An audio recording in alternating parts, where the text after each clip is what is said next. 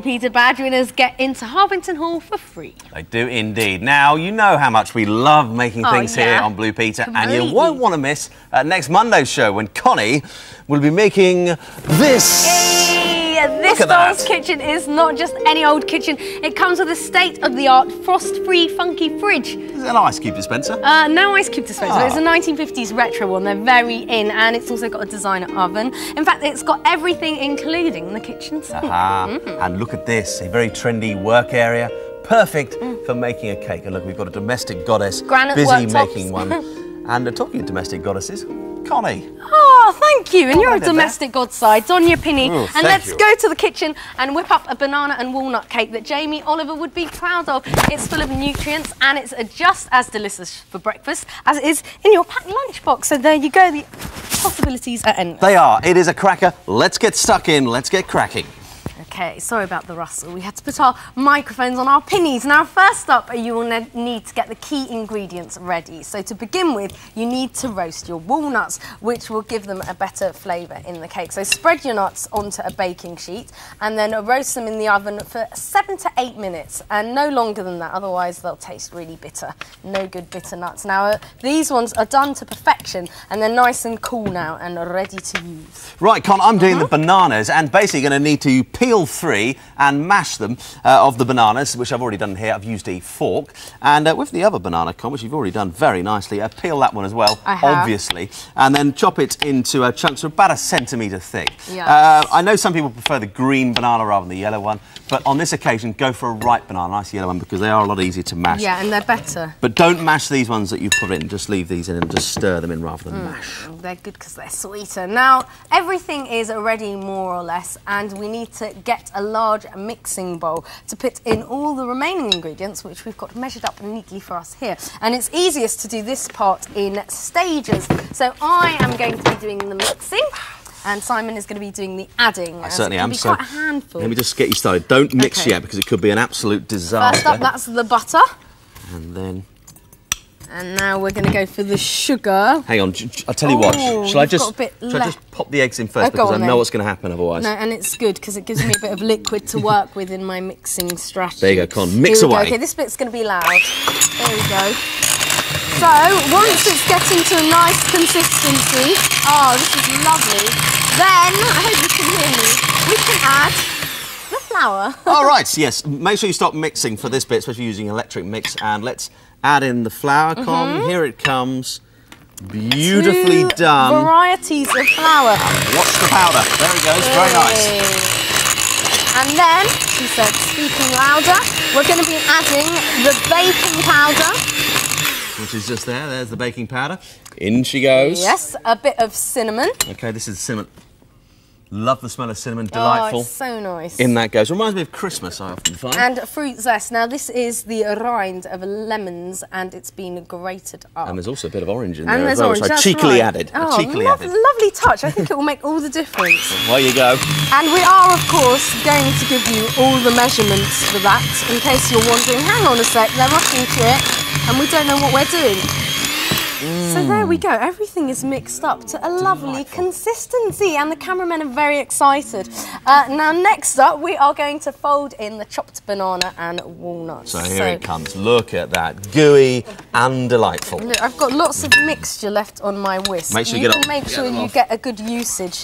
I'll we don't what. like to waste, but there we go. I'll cue the nuts at this point. Here Okay. come the nuts and just uh, guiding hand. I have washed my hands after handling the uh, rather smelly fish that Yeah. the piranhas didn't want. Maybe they'd prefer some of this. Who knows? I made sure he did in the Harvington Hall film. There we go. And once you've folded that in, Mm. you are ready to get your grease tin. Oh, Si, you are so good in the kitchen. I love to keep a tidy kitchen. I'm going to miss Si. That's he does actually. His kitchen is very tidy. I've been there. I've seen it.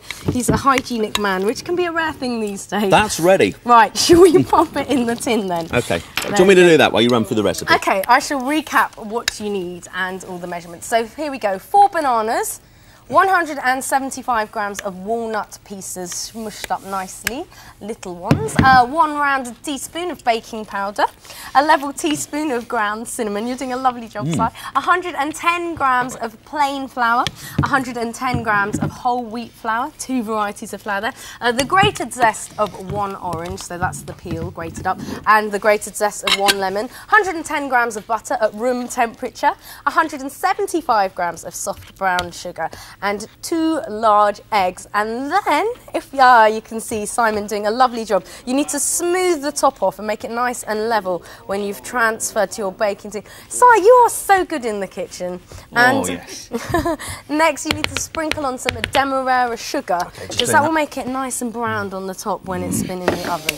We are ready to get baking, everyone. Okay, so you need to bake the cake in the centre of the oven at 180 degrees Celsius, and uh, I'd say for about one and a quarter to one and a half hours until the cake feels nice and springy in the centre. Once you've taken it out, you need to let it cool for five minutes, then turn it out onto a wire tray. And once it's completely cool, it's ready to serve. Mm, and you can have it for lunch, you can have it for tea, you can have it for breakfast, or you perhaps you could uh, pop it into your packed lunchbox and take it to school. There's a slice in there, maybe a bit of a Our cameramen look very hungry. I don't think it's going to last until tomorrow. If you've got a nut allergy, like Gary on camera too, you can put raisins in. Now, before you rush off and get baking, here is what is rising in the Blue Peter oven this week. It's all about the pop idols as we celebrate the stars who dominated three decades of music. Matt and Zoe meet some real geezers and bravely tuck into a traditional Viking feast when they visit Iceland. And on Monday, the stars of the Dance Factory head off their production line into our studio. Great stuff. I cannot wait for that. It's going to be really, really good. Delish. Mm. Mm. It's really just, nice and moist, isn't it? It's lovely, it's moist, it's beautiful. But if you uh, don't fancy being too healthy, then you could always serve it up with a nice bit of clotted cream or perhaps tut, tut. a lovely bit of drip of Jamie honey. Jamie Oliver wouldn't like that. No? we shall see you next time. See you later. Bye-bye. Bye. What a cracker. Mm. Oh. 11-year-old Aisha from Beckton took a leaf out of my book when she recreated these Mother's Day flowers. They look blooming marvellous and she earns herself a blue badge.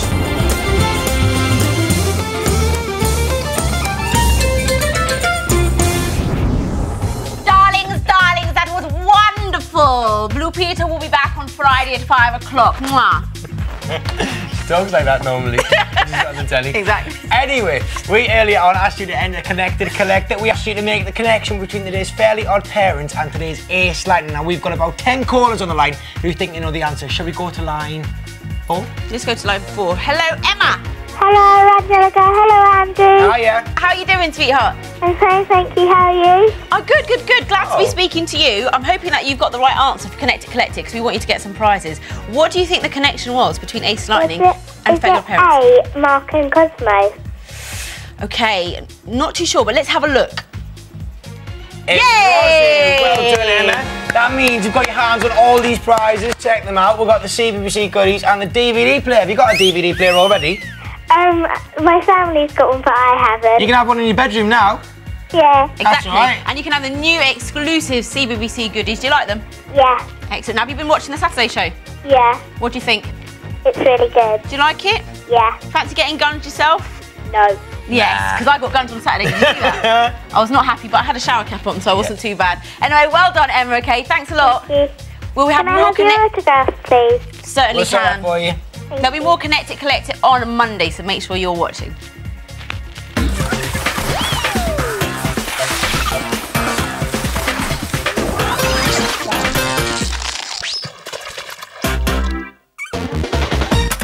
On out. Get on down. Feel the rhythm. Cut a move.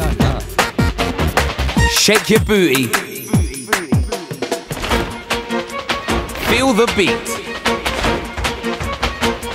A brand new series that'll bring out the dancer in you. Dance Factory. Saturdays at 10.30 on CBBC One.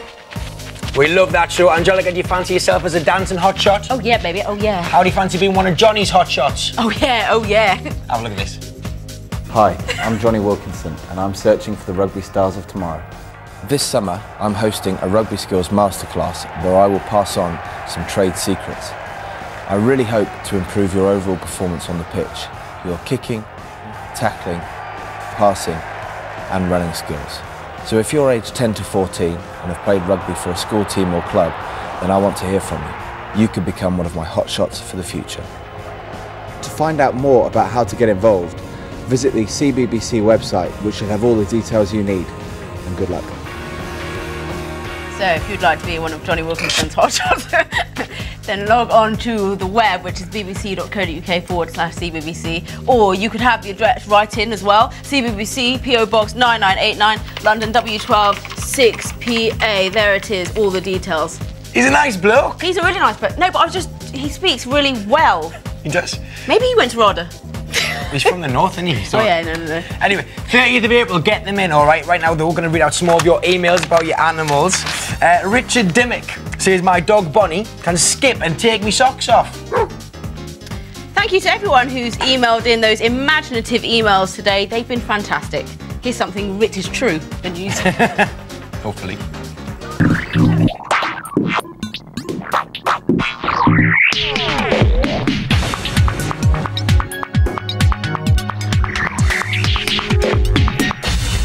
This is Newsround. Welcome to the programme. Our top stories this afternoon. The estate that's banned residents from swearing. And Big Bird on the loose, an emu makes a bid for freedom. Hello, first. An entire